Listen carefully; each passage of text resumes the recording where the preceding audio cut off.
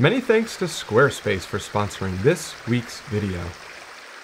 1,825 days, otherwise known as five years, have passed since my transition from corporate America to professional photographer first began. One of the most common questions I receive is, is not about photography specifically, rather what it was like going through the transition and how I came out, I guess, unscathed, so to speak. And the short answer is that there was absolutely nothing unscathed about it. I was beat up, drugged down, constantly told it wasn't going to work, almost gave up on more occasions than I can count, but kept pushing through all the noise and somehow, some way, I'm fortunate enough to still be doing what I love today. And the timing of this video couldn't be more serendipitous. Not only is it my five year anniversary from the time my position in the corporate world was eliminated, but on top of that, this channel also just crossed over a quarter of a million subscribers, which is just absolutely unimaginable to me. And, and as always, to celebrate a milestone, I want to do a giveaway, but not just any giveaway. This will be my biggest giveaway ever from a monetary perspective. So be sure to stick around for that. So when this venture first began, my expectations were that I was going to be, I guess, in the field shooting all the time, selling tons of prints and exhibiting in, in art galleries and festivals while traveling all over the world. And and while I have been lucky enough to travel quite a bit, the aforementioned three expectations were simply just not the reality for me. And I do want to preface this video by saying that my way is not the correct way to start a career with photography. It's also not the wrong way to start a, uh, start a photography career either. It's just the way that ended up working out for me. So to jump right into it, if I had to break down the, the path or the framework that I followed to making photography a full-time career, I would break it down into three categories, with the first being something that I call begin before you start. And this is very, very important because making a career with photography, it, it, takes a while. So I would highly recommend anybody who is interested in doing this, don't go out and quit your job and then start the process the very next day because you will be in for a world of hurt. But what I ended up doing is that, you know, when you work in the corporate world long enough, I was in the corporate world for 17 years. After you spend enough time in that environment and you go through a, a ton of layoffs. You know, my organization did a, a, layoff, a layoff on almost an annualized basis.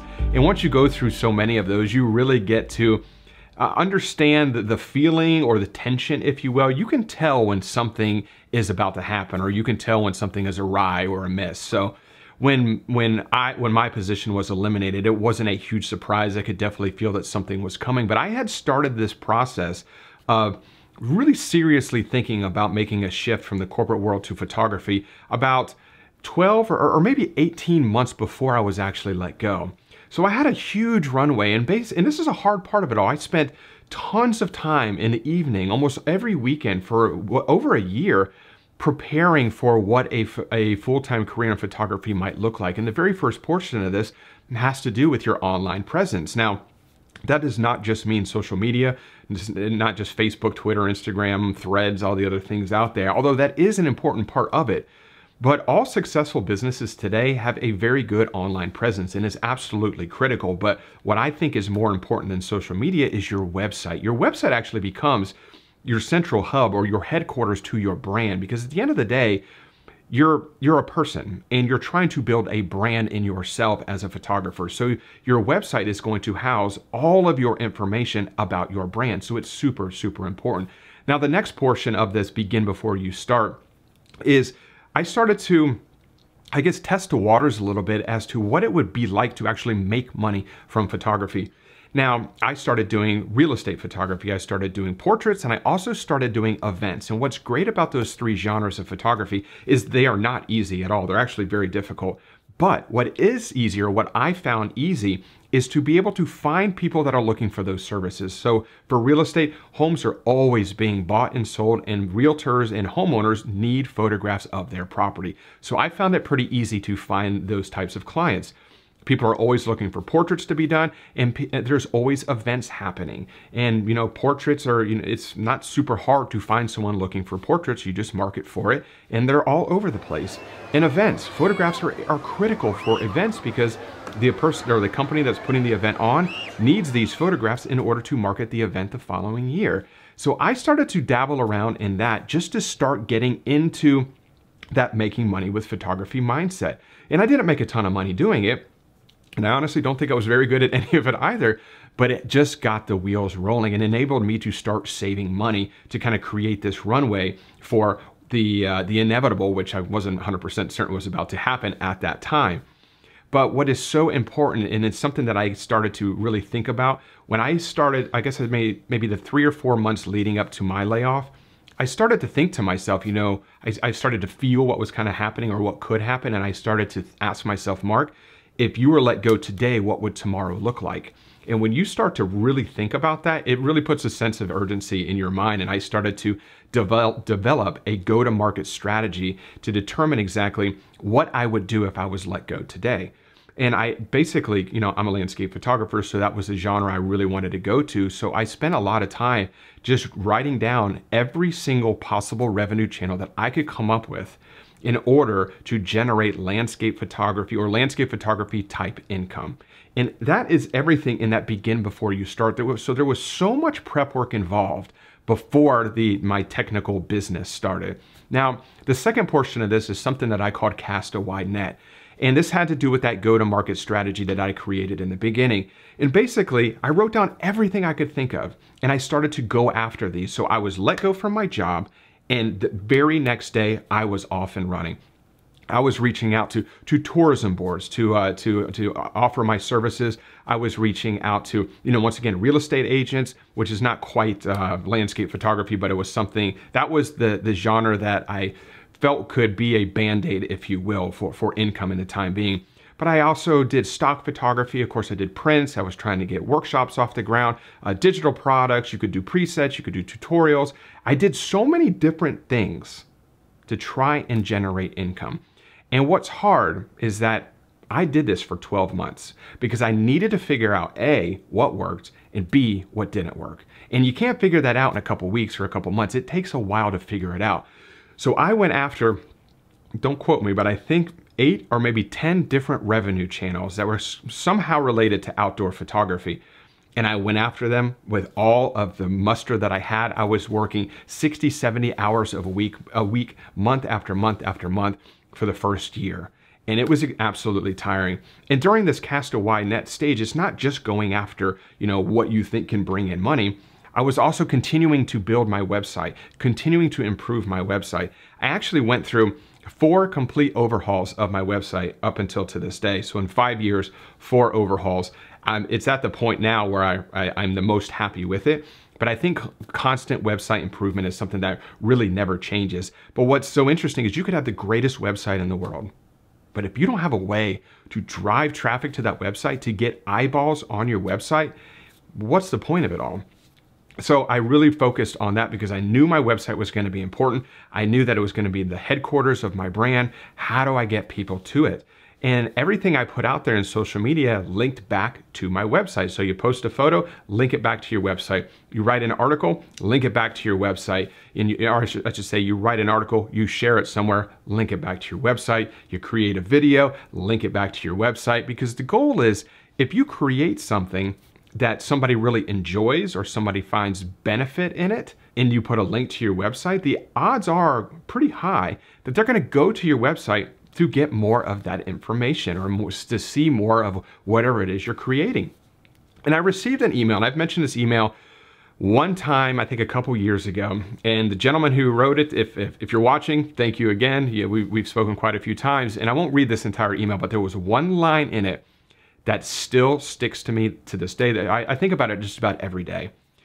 And the quote is, the market for landscape photography things is small, but the market for the landscape photography experience is massive. And it's something that I think about constantly because knowing what I know now, that gentleman was absolutely spot on.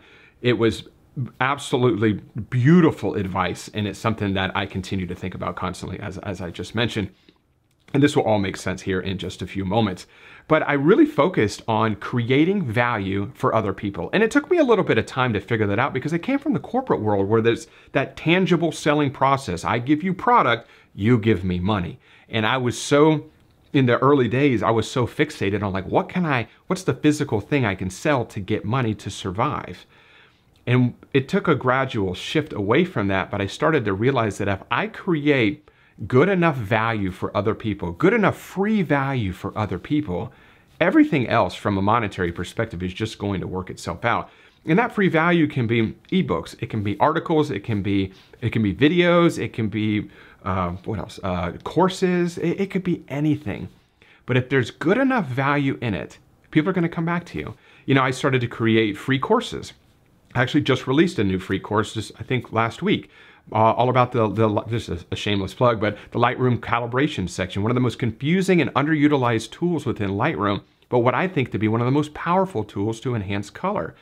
And I created an entire free course for it, which I'll, I'll, link above here and I'll link it in the description. And if you're watching on TV, I'll put a QR code on the screen so you can scan that as well and download a copy. But creating this free value, and I started to think about this as to how I interact it within the photography ecosystem because, of course, I'm a photography fan. I follow photographers. And if I say, watch a photographer on YouTube, and I really enjoy the content that they create, and I learn something and I find it beneficial, if that person has an article that, that he or she writes, the odds are pretty high that I'm going to consume that article. I'm going to read that article. Or if that photographer creates a course and sells it for 25 or 50 or $100, the odds are pretty high that I will probably go pick up that course because I have found value in the other free stuff that I have gotten or received from that photographer. So I just, I really feel like if you focus on creating good value for other people, everything else will just work itself out. And that's something that I have really focused on. Now, the final portion of this is something that I call don't beat your head against the wall. And what this has to do with is uh, while you're casting that wide net and you're going through that first year and you're grinding it out and you're going after all of these different revenue channels, they're all not going to work. And believe me, I wish I could tell you to do this, do this, and don't do this and don't do that, but I can't because what worked for me might not work for you. What works for you might not work for me. Things work differently depending on where you're at in the world. So the only way to figure out what works for you and what doesn't work for you is just to go after it. You just got to go after it for at least six to 12 months. And then, you can go back and you can analyze your results and see, you know, I have spent this much time on this revenue channel and, and recognize this or I spent this much time on this revenue channel and recognize nothing. So I'm not gonna do that anymore. I'm gonna take the time that I allocated to those revenue channels and I'm gonna take that time back and I'm gonna put it towards the things that are working for me. And this is where you really start to see the momentum because that first year is tough. You're gonna lose confidence pretty quickly because you're not gonna really generate money. I think the very first year after I got through my, I should say my second year after I got through that 12 year kind of experimental phase, I only generated around fifteen or twenty thousand dollars. My last year, my most recent 12 month cycle, I'm now making more than I did when I was in the corporate world, which is amazing, but it takes a little while to get that ramp going. So analyzing what works, what doesn't work, and stop doing what doesn't work and focus more on what does work and focus on growing it.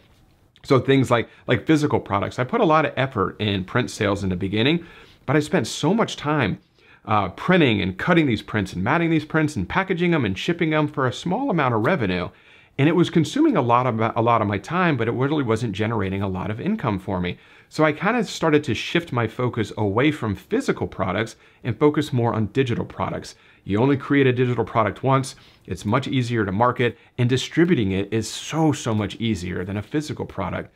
And I had more success doing that. So I started to shift my focus away from something that wasn't working and focus more on something that is working. That was the digital product. So that's what I mean. But constantly focusing on creating that value for other people. I firmly believe if you don't focus, and this is kind of, it's easier for me to say now than, than back then, of course, but focusing on that value, if you create good enough value for other people, they're gonna come back, they're gonna wanna support you, they're going to purchase something that you might be creating in the future, but it all starts with that good value for others. And I think that was really the key to it all. Now, before I get to the giveaway, which I'm super excited about. I just want to say a big thanks to the sponsor of this week's video, which is Squarespace, who I use for all of my website and e-commerce needs. Squarespace provides a robust and beautiful online platform to develop your website. You can showcase your photography using Squarespace's professional portfolio designs and display your work using customizable galleries in order to make it your own. And with Squarespace's online store feature, you'll have access to all the tools you'll need to start selling your physical, digital, or service products online immediately. You can even use Squarespace's new asset library so you can upload, organize, and access all your content from a single place in order to easily find and use them across the entire Squarespace platform. So if you're looking to start a new website or possibly upgrade your current website, check out squarespace.com forward slash Mark Denney for a free trial and 10% off your first purchase. So as far as the giveaway is concerned, 250,000 subscribers, a quarter of a million subscribers. I can't thank you all enough. Thank you so much. You all were a huge part, huge reason as to why I can sit here and do what I love to do to this day. So thank you from the bottom of my heart. I had mentioned that this is by far the biggest giveaway from a monetary perspective that I have ever done, and it absolutely is. I've given away tons of camera bags and many of other uh, little gizmos and gadgets and camera equipment before, but nothing this expensive. And what it is, is in a complete NiSi filter set. So this is going to include not only the filter holder, it's going to include the circular polarizer, it's going to include the entire filter set. So all of the graduated neutral density filters, you will have a a soft grad, a medium grad, medium grad, a hard edge grad, all of the solid ND filters, so a three stop, a six stop, and a 10 stop filter a complete set to get you started with a value of almost $1,000. So I'm definitely excited to give this away. This is absolutely tre tremendous. I, obviously, I'm a NiSi ambassador, so I am a huge fan of the filters. I do think they are the best in the business. So if you are interested in, in uh, entering the giveaway for the filters, just leave me a comment below and just let me know what type of photography you are into, whether it's weddings, sports, wildlife, landscapes, whatever it is. Just leave me a comment, let me know what you're into, and in two weeks, in, in, in two weeks, I will pick a random comment and I will announce it in the video in two weeks, and I'll make sure that I get this, uh, this NiSi filter set sent out to you. So as always, Thank you so much for carving out a little bit of time to spend it with me today. If you did enjoy the video, if you could give it a thumbs up, subscribe to the channel if you're not subscribed already. And thank you so much for all the support over the last five years. It really does mean the world to me. Thanks so much, and I will see you all next Wednesday. Bye.